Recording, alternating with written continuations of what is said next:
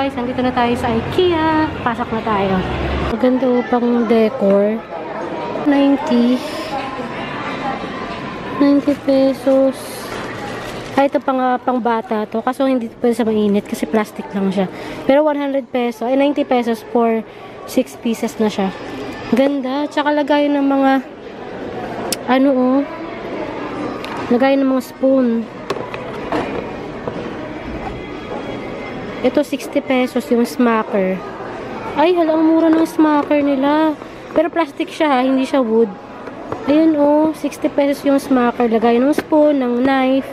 Yan, 60 pesos lang siya. Ito oh, 170. 170 pesos, my goodness. Tagal. Mura, 170 pesos lang oh. Ito ba yun? Clear glass. 170 pesos. Yan, 150 naman siya. Cute. Ito lagayan ng asukal to. Mamura naman niya, 150 lang oh. Lagayan ng mga ano, condiments. Ang ganda, mura na. Meron pa dito. Ito dati naman siyang 290 pero ngayon nasa 200 pesos na lang siya. Cute. Lagay ng coffee pero maliit lang. Mas maganda yung malalaki. 200 to. Mga lagay ng condiments to. Pinakita ko to nung nakaraan na ang dami. Ayan o, mga 290 pesos.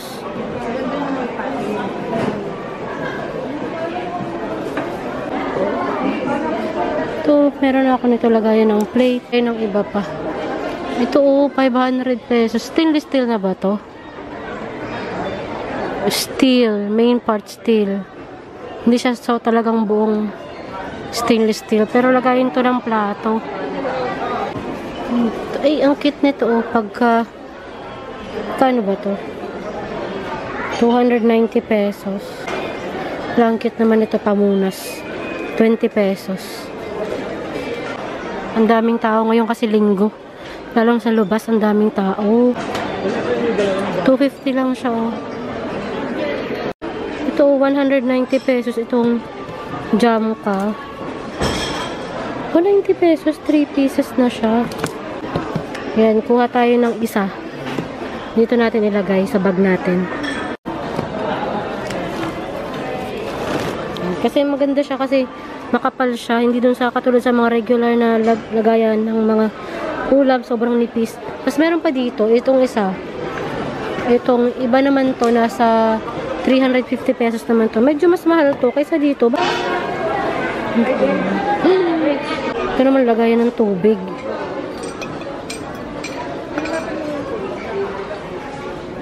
Dami. Kasi meron na kaming pitchil eh. Ayan, meron pa doon. Mahilig sa mga wine. Ganda oh. Ganda. Ang, ang hilig ko sa baso. Mariosep. Ito 180 pesos lang yun. Hmm. Dali na. Oo. Ang ganda nun oh. Ang laki nito.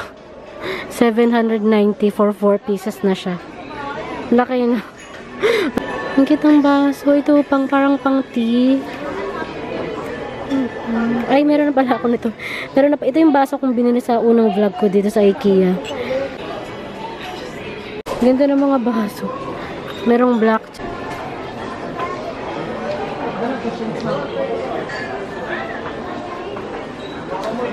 Yung mga placemat yan. Iba-iba. Ang ganda ng placemat. Ayun, 250 pesos. Medyo mahal yung placemat.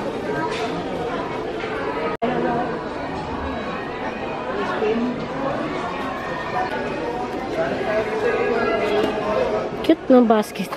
Two Christmas tree. Your personal belongings while you shop. Thank you.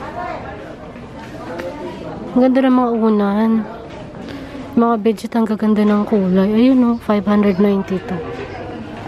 Ito yung bagong labas yun. Cute, no? Pink yan eh, pink.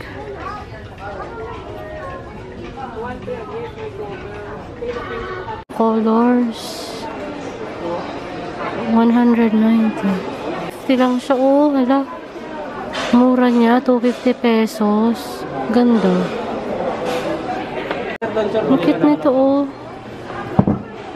Gold yung kulay, tsaka merong white. 1190 lang siya. Ito naman, 300 lang, oh. Ang cute naman niya, pero pwede naman siya. 300 pesos. Ang galing. Ito naman 400. Iba naman siya. Galing. Kapag gusto niyo ng mga lamp na mura lang, ayan. Affordable price. Ganda. Ito yung pinaka-favorite ko na like yung kada punta ko dito sa IKEA, ito yung like yung nakikita. Ayan. 1,090 dati, pero ngayon 890 na lang. Ganda niya, no? Ang cute kasi niya. E pagka Italian yung ano niya, charot. Hindi ko alam kung ano tawag dyan. Ang dami niyo pa pwedeng makita. Ang cute ng lampo, 990 lang siya. Grabe, ang ganda. Ang dami pang lamp. Merong gold, merong ano. Ito, ang ganda ng lamp. 2590 lang siya. Ganda. Ito naka-stand na to, 490 lang siya. Ayun o. Ito, super simple stand lamp. Bar last.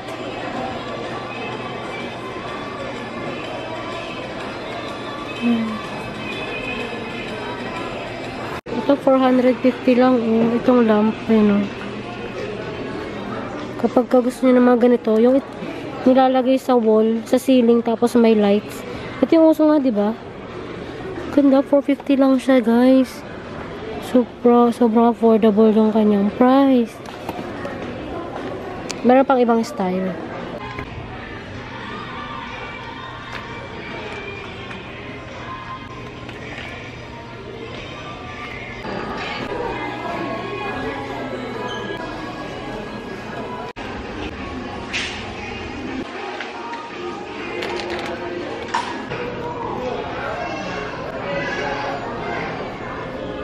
Thank you.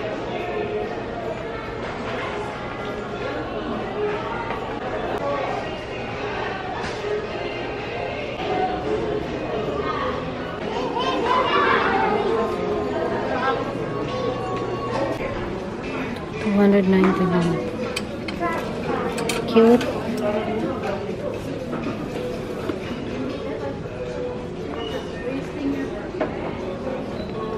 Mas malaki. Wala ng kandila.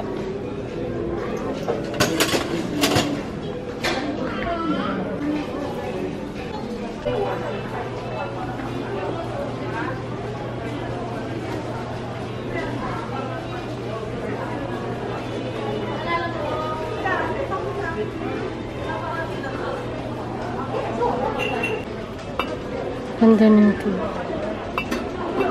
Ganda.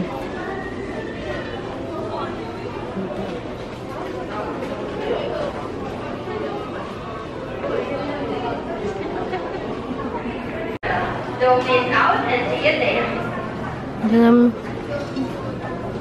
lagyan ng fruits, pwede to lagyan ng Cute naman eh ito. Minsan na- nakikita ko to sa mga model house, nilalagyan ng flowers. Ayan, 890 siya. Ito din ang ganda, 690. Ang lagayan to ng mga flowers. Ang ganda ng mga painting, oh.